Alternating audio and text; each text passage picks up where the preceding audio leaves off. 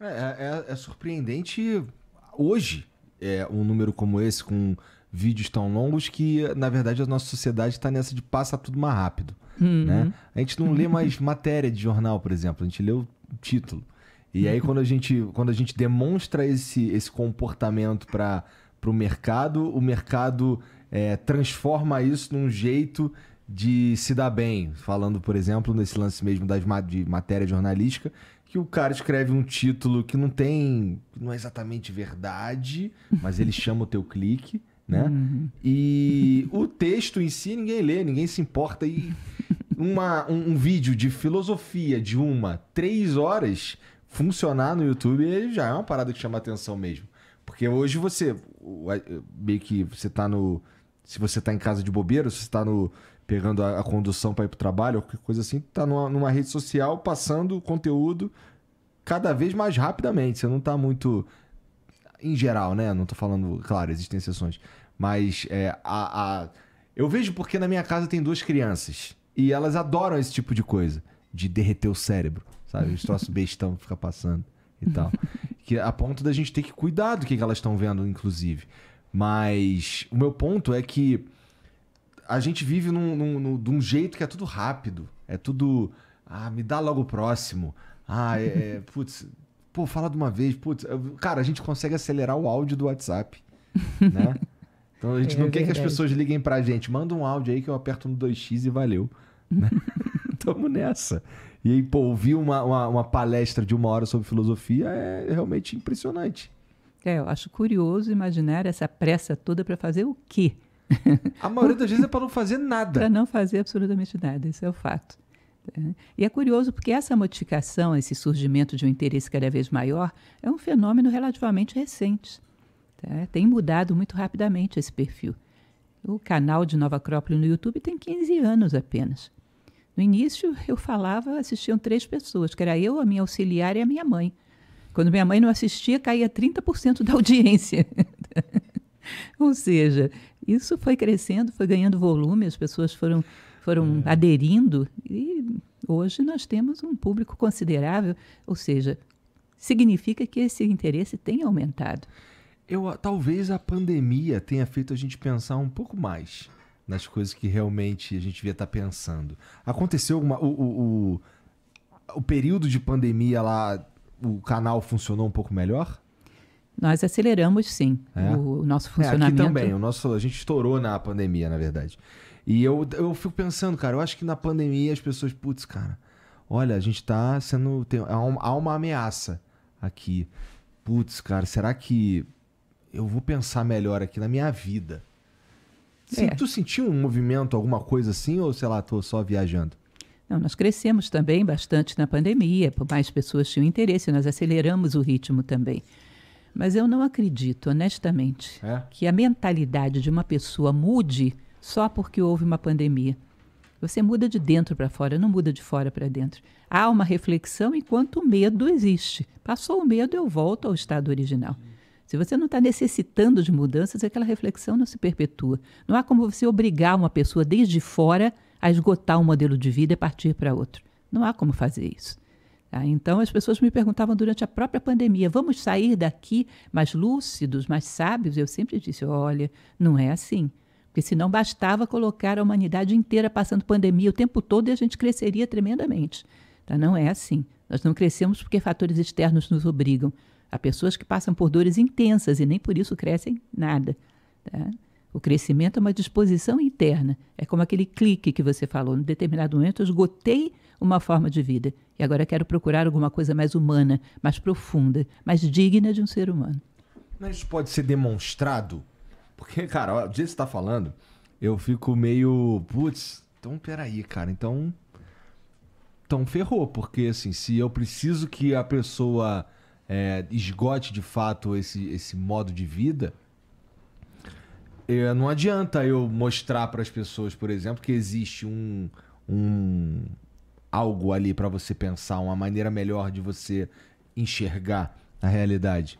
É, mas eu gosto de acreditar que adianta. Eu também. É. Inclusive, nem estaria aqui se não acreditasse. o que é muito verdade que você acabou de falar, é mesmo? É um fato. É claro que a gente semeia, mas a gente não pode garantir onde vai brotar e onde não vai brotar. A função da gente é semear e oferecer. Mas você não pode obrigar uma pessoa a ser filósofo. Nem uma pessoa muito próxima, nem que seja o teu filho. Você não obriga se ele não tem natureza para isso. Tá? Por isso que eu digo que ninguém pode conceder a alguém a qualidade de filósofo. Ele conquista por si próprio. O que é um filósofo, então? O que é um filósofo? Bom, a etimologia fala de amor à sabedoria. Hum? Filósofo é uma pessoa que tem uma inquietude, que às vezes vem desde infância e adolescência, por entender o que ele está fazendo aqui, um sentido para a vida, qual o propósito dele estar aqui. Ele tem necessidade de fazer com que a vida dele some alguma coisa, não seja em vão. Ele tem necessidade de dar um propósito, um sentido, um direcionamento e sentir que o tempo está passando de uma maneira válida. Um filósofo sente necessidade de crescimento como ser humano. Ele se autoavalia, ele percebe que ele não está crescendo, se angustia com isso. Ele tem necessidade de aportar valor ao mundo.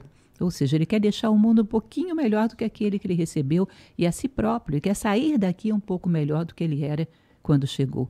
Então, essa chamada do futuro, essa inquietude, essa necessidade, não só de fazer perguntas, mas na medida das suas possibilidades de encontrar pequenas respostas que vá nos aperfeiçoando como seres humanos, é típico do filósofo. O filósofo é um inquieto e não se contenta enquanto ele não consegue dar um passo adiante desse rumo à sua condição humana plena. A tua definição de filósofo, ela não necessariamente ah, diz que um, um filo, filo, isso daí é uma profissão. O cara pode estar, tá, nesse momento, sei lá, dirigindo um carro e indo por esse caminho, né? Sim, disse que eh, Platão, inclusive, costumava fazer isso. Qualquer profissão que se falasse para ele, ele dizia que por que naquela profissão o cidadão seria mais realizado, mais feliz se ele fosse também um filósofo. Então imagina você ter uma ansiedade por verdade, por sabedoria, quando você é um pai. Não vai ser um ótimo pai? Você tem uma ansiedade por verdade, por sabedoria, se você é um profissional de qualquer área, não vai ser o melhor profissional? Ou seja, a filosofia ela te dá mais lucidez, mais capacidade de saber onde você está pisando e vai te otimizar, seja lá o que for que você faça.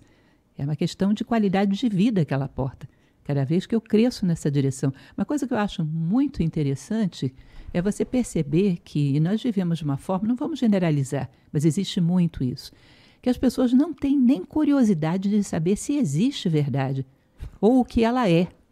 Se eu tenho uma opinião sobre algo, essa opinião me favorece, ainda que você me prove por A mais B que a minha opinião está errada, eu não vou dar o braço a torcer. Por quê? Eu não quero saber de verdade. Eu quero saber a minha versão, a que me favorece. Não tenho interesse nenhum em verdade, mas apenas naquilo que favorece o meu interesse pessoal. Isso é curiosíssimo, ou seja, um total desinteresse pelo que as coisas são em si, pelo sentido das coisas existirem, estarem aí, pelo sentido de eu estar aqui, uma total apatia em relação às perguntas fundamentais da vida humana.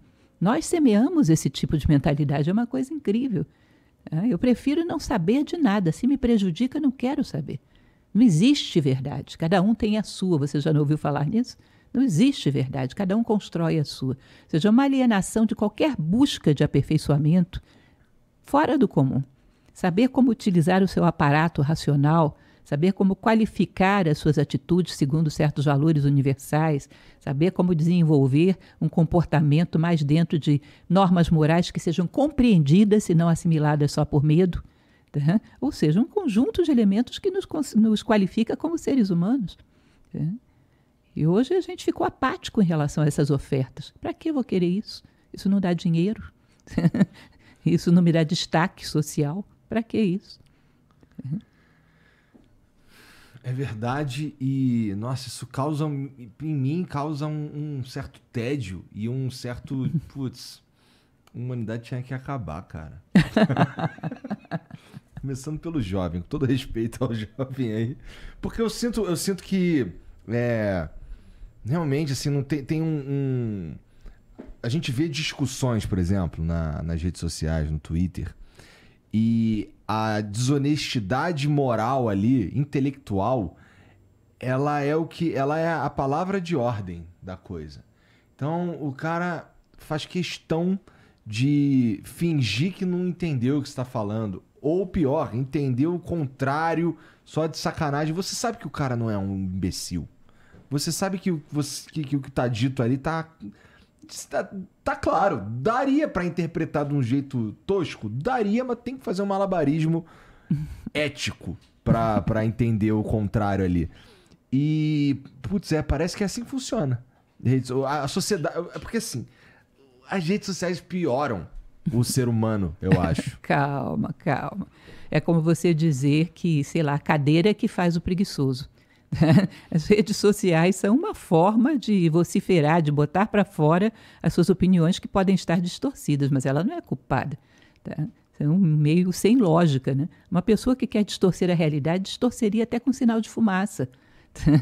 não, não, necessitaria de redes É, mas eu acho que a rede social amplifica e leva isso para mais longe, a ponto de o trabalho de convencimento de quem está falando a verdade fica prejudicado. Porque a, a minha versão, ela pode ser mais gostosa.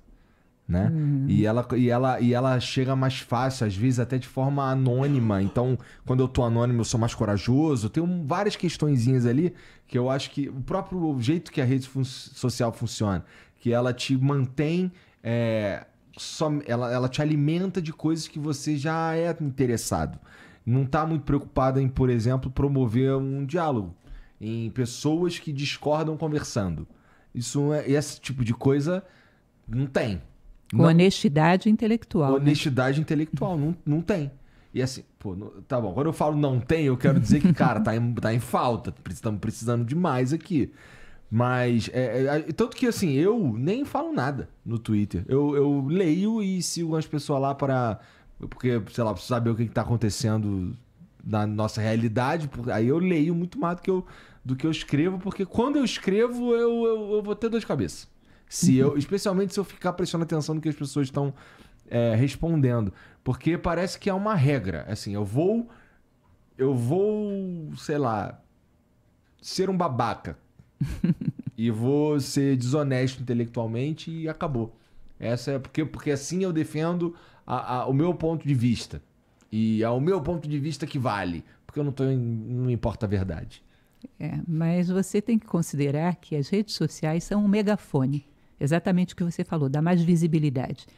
Como megafone, ela pode dar visibilidade a coisas boas ou coisas ruins. Se preponderam as coisas distorcidas, é porque preponderam as coisas distorcidas na humanidade.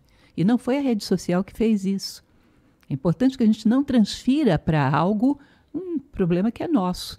E sempre nos vitimizando, né? A tecnologia que está fazendo isso comigo. Não, fui eu que fiz a tecnologia. Eu me recordo que quando eu chamava um técnico para consertar o meu computador, ele costumava colocar no laudo assim: PO, que diabo é pior? Aí um dia eu fui perguntar o que é pior. Problema do operador. O problema do seu computador está entre a mesa e a cadeira. Ou seja, é o problema do operador das redes sociais. Tá? Que é a humanidade. Ela tirou esse megafone. Ela vai falar mais baixinho. Mas vai falar de quê? Das mesmas coisas. O que me deixa impressionada quando você fala de discussões sem honestidade intelectual, de pessoas que entram já para fazer comentários torpes, já com essa intenção, é que isso, num determinado momento, seria motivo de escândalo. E hoje não é mais. Isso já é esperado. Isso se banalizou. Ou seja, aquilo que seria um motivo das pessoas se escandalizarem, hoje está dentro de uma chamada normose. Né? Se normalizou, se banalizou.